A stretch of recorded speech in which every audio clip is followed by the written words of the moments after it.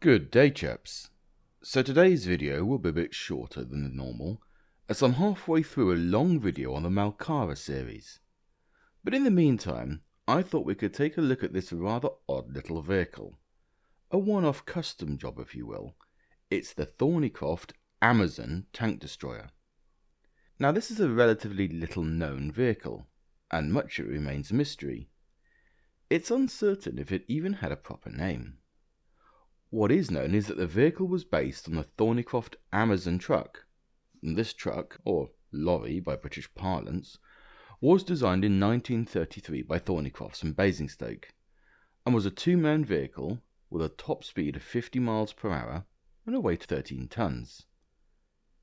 The base truck was a 6x4 medium weight vehicle powered by a Thornycroft AC6 cylinder 7.7 litre petrol engine delivering 100 brake horsepower, and it was designed for domestic and export use. Thornycroft made quite a few different styles and looks for customers across the UK, although by far the biggest buyers were the railways, who up to that point operated a large fleet of Thornycroft trucks. But it was World War II that saw a surge in Thornycroft vehicles, with their military contacts, not only in engines and ships and such, but an order for some 5,000 vehicles, particularly of the Amazon and Nubian designs, along with thousands of other vehicles, which would see them working flat out throughout these years. The Nubian, for example, seen here with the Mickey Mouse camo, would go on to serve for many years, even post war, and had the more common, flat fronted, British style engine cab, which, to be honest, I've always found rather ugly. Meanwhile, the Amazon had the more American looking snouted engine, which would be most fondly remembered for its use in the RAF as a crash recovery vehicle fitted with a Coles crane on the back, and some 1800 of these machines could be found serving on RAF airfields from 1939 to 1960. The main difference being pretty obvious, they have a large 5 ton EMA petrol electric crane on the back of them. These vehicles served anywhere planes served, from North Africa to the remote tropical islands in the Pacific. If there was a runway and a chance to lift and drop a plane from A to B, then there was a very good chance one would find an Amazon there, and if not, then any of the other vehicles that mounted Coles cranes to achieve the same purpose. But we're not here for a video on cranes, more's the shame, but for the Amazon tank destroyer, and we're going to use that name as there still has been no record found of any official name or even a project name. In fact, it's not even known who it was made for, or why.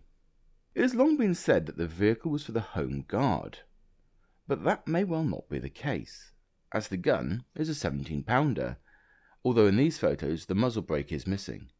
Now, while it's true to say that the 17 pounder did start to see some service testing in late 1942, it wasn't until 1943 early that we start to see it being fitted to any vehicles in any number.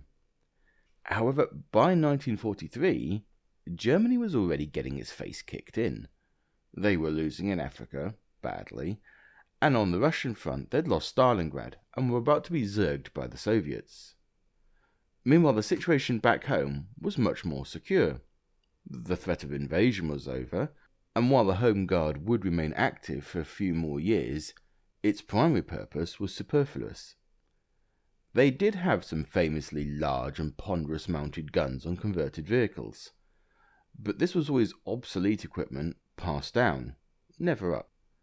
Thus, the notion that the boys at home would be getting their new primary anti tank gun on a mounted fitting before the front line is quite unlikely. What is known is this was a period when the War Office was doing its best to find a way to fit the 17 pounder gun onto any mounting at all, and lots of options were put forwards. Vickers began work on the Archer.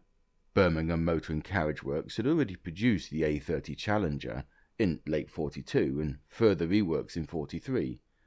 So this leads us to the more likely possibility that the Amazon was an attempt by Thornycroft to join the race to get a mobile 17 pounder into action. This fits not only the timeline, but the requirements and the capability of the time.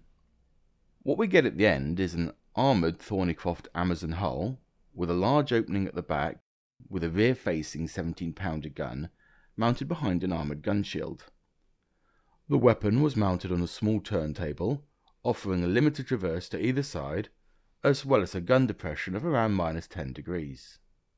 The armour of the vehicle also remains a mystery, as like so much else it's not recorded. The word 50mm bandies around a bit online, but the original sources are known to be very questionable. From the images we do have, it appears to be in the 40 to 50mm mark for the gun shield, which is possibly still made of wood at this stage. The armour extends to the rear of the vehicle's back plate, to either side of the gun, which is visible in the images.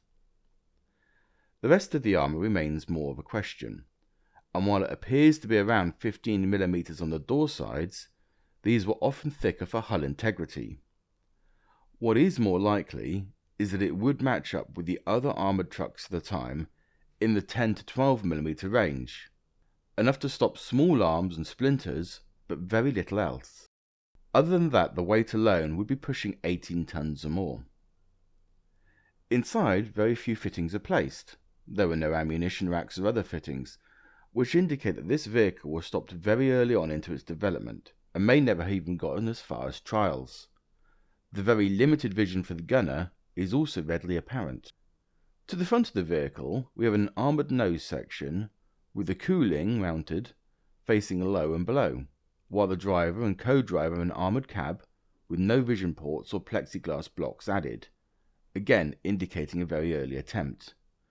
But the roof hatches above do open to allow one man to stand out of the cab.